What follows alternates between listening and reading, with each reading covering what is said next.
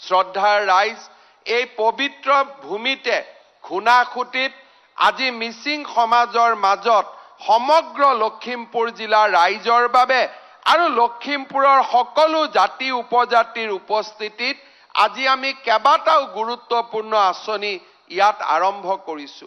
ঘূনাসুঁতিৰ দলং এক সপোন আছিল উপন্যাসৰ সম্পদ আছিল যে কেতিয়াবা ঘূনাসুঁতিৰ দলঙৰ স্বপ্ন হ'ব পাৰে নেকি।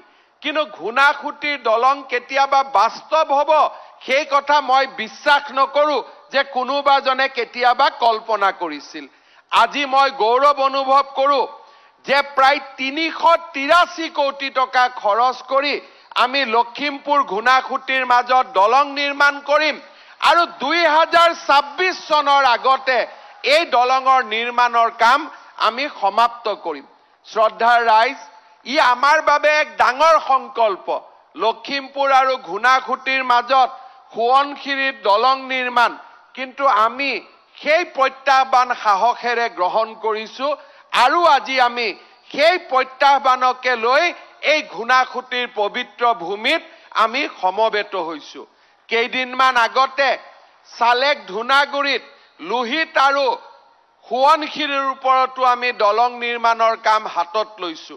আমাৰ লক্ষ্য হৈছে যোৰহাটৰ পৰা মানুহ লখিমপুৰ জিলালৈ ৰাতিপুৱা আহিব লাগে আৰু গধূলি ঘূৰি যাব পৰাকৈ যাতায়াতৰ ব্যৱস্থা হ'ব লাগে।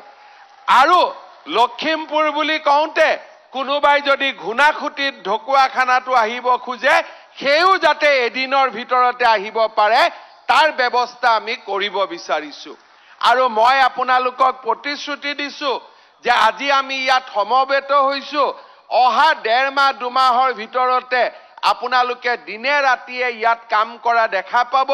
ৰাইজৰ পৰা এটাই সহ সহযোগিতা বিচাৰিম যাতে কোনেও নিৰ্মাণকাৰী সংস্থাজনক দিগদাৰী নকৰে কাৰ পৰা শিল ল'ব কাৰ পৰা ইটা ল'ব সেইটো আমাৰ কথা নহয় আমাক মাত্ৰ ঘূনাসুঁতিৰ ওপৰত দলং লাগে। যদি সেই সংকল্প লৈ আপোনালোকে আগবাঢ়ি যায় ঘূনাসুঁতিৰ দলং দুহেজাৰ ছাব্বিছ চনৰ ইলেকশ্যনৰ আগে পিছে আমি ইয়াত গাড়ী চলাই কেম্পেইন কৰিব আহিব পাৰিম। আপোনালোকৰ সহায় আৰু সহযোগিতা লাগিব। শ্ৰদ্ধাৰ ৰাইজ এন এইচ পি চিয়ে আজি আমাৰ সোৱণশিৰিৰ নামনি অসমক সুৰক্ষা দিবলৈ এশ নব্বৈ কোটি টকাৰ আঁচনি হাতত লৈছে। মই এন এইচ পি চিৰ ই ডি মহোদয়ক ধন্যবাদ আৰু কৃতজ্ঞতা জনাইছো। চাবুৱা ষ্টেডিয়ামেই হওক ব্ৰহ্মপুত্ৰ নদীৰ ওপৰেদি টেকেলি ফুটাৰ পৰা লোটাচুৰ পথেই হওক সোণাৰী চাপৰি মৰনৈ গড়মাৰীত বিদ্যুৎ শক্তিক সংৰক্ষণ কৰা সংবৰ্ধন কৰাই হওক লখিমপুৰৰ আই এছ বি টি নিৰ্মাণেই হওক আজি আমি লখিমপুৰ জিলাৰ বাবে এহেজাৰ কোটি টকাতকৈ অধিক প্ৰকল্প আমি নিৰ্মাণ কৰিব খুজিছো। ঢকুৱাখানাত নতুনকৈ ষ্টেডিয়াম হ'ব আৰু আমাৰ কেইবাটাও নতুন পথ আজি আমি লখিমপুৰ জিলাৰ বাবে আগবঢ়াই দিছো। শ্ৰদ্ধাৰ ৰাইজ আজি আমাৰ খজুৱা তিনিআলিৰ পৰা ঢকুৱাখানা হৈ মাতমৰালৈ ৰাস্তা হ'ব। উজনি পহুমাৰা মিৰিৰ পৰা চৰাইমৰীয়ালৈ ৰাস্তা হ'ব।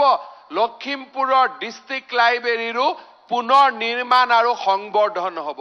মই নাভাবো যে লখিমপুৰ জিলালৈ কেতিয়াবা এনেকে এহেজাৰ কোটি টকাৰ প্ৰকল্প আমাৰ কোনোবা চৰকাৰৰ দিনত আহিব পাৰিছিল।